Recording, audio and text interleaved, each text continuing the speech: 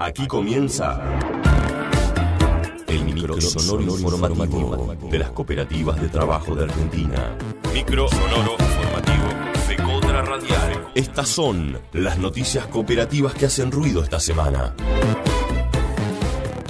Christian Horton participó de un acto en el Ministerio de Desarrollo Social de la Nación. El pasado 7 de octubre se realizó un acto en Capital Federal bajo el lema Acompañamiento del Estado al movimiento cooperativo y mutual. Del mismo participaron el secretario de Coordinación del Ministerio de Desarrollo Social de la Nación, Carlos Castañeto, y el doctor Patricio Griffin, presidente del INAES, quienes entregaron aportes económicos para cooperativas y mutuales de todo el país. En su intervención, Griffin no nombró a FECOTRA, contando que recientemente la FECOTRA renovó sus autoridades y en esta oportunidad ha llevado a un trabajador metalúrgico, cooperativista, al más alto grado de una federación y luego procedió a presentar formalmente a Christian Horton, Cooperar 7 de mayo, a quien solicitó se pusiera de pie para recibir el saludo de los presentes.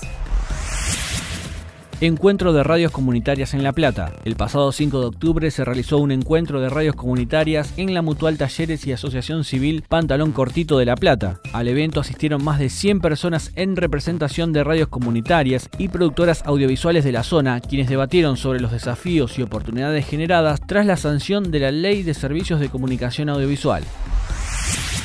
Se realizó el segundo Congreso Cooperativo para Jóvenes en Las Flores. El pasado 4 de octubre, en el Teatro Español de la Ciudad de Las Flores, se llevó a cabo la segunda edición del concurso de preguntas y respuestas sobre el movimiento cooperativo, donde los jóvenes florenses compitieron nuevamente por un importante premio. La actividad se realizó con los alumnos de los quintos años de las escuelas medias de la región y fue organizada por el movimiento cooperativo de Las Flores. Bueno, eh, la primera experiencia eh, fue el año pasado, el primer concurso. Este, hicimos una serie de, visitas a las escuelas haciendo charlas y sobre el tema porque mm, en las escuelas si bien la educación eh, dice que hay que enseñar sobre el cooperativismo, ¿no? Y, pero no, no se hace, todo, todo el mundo lo sabe. Y era la única manera que, encontramos del movimiento cooperativo de las flores de eh, llegar a las escuelas, a los alumnos, que son los, que están pronto a una salida laboral, ¿no? Están pronto a salir al mercado laboral. Y queríamos mostrarle que eh, una, otra opción más que para nosotros la mejor, que es el cooperativismo, la, autogestión.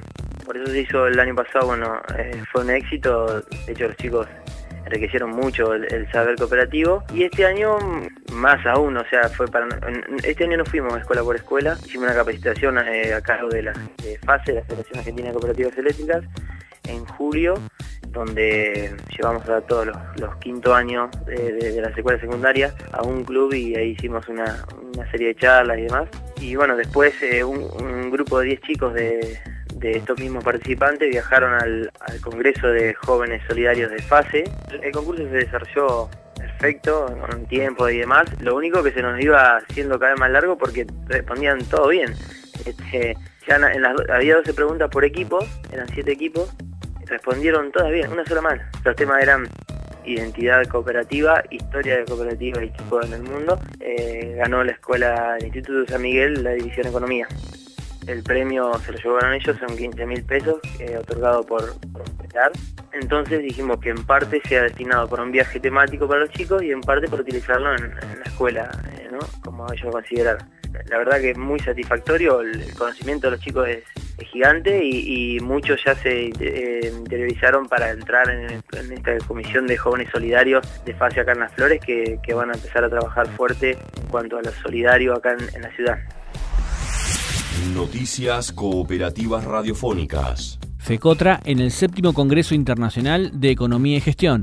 FECOTRA participó del encuentro organizado por la Facultad de Economía de la Universidad de Buenos Aires a través de María Laura Coria y Paola Acosta, quienes expusieron los lineamientos estratégicos mediante los cuales el movimiento cooperativo afrontará los próximos 20 años teniendo como meta lograr representar para entonces un tercio de la economía nacional. Esta participación busca no solo difundir nuestra propuesta, sino también aprovechar la oportunidad de intercambiar conocimientos y experiencias con los diversos actores académicos y profesionales que participan del ciclo. Radial. Es una producción del área de comunicación de la Federación de Cooperativas de Trabajo FECOTRA y la Cooperativa de Trabajo Comunicar Limitada. Para consultas y contactos, envía un correo a info.fecotra.org.ar.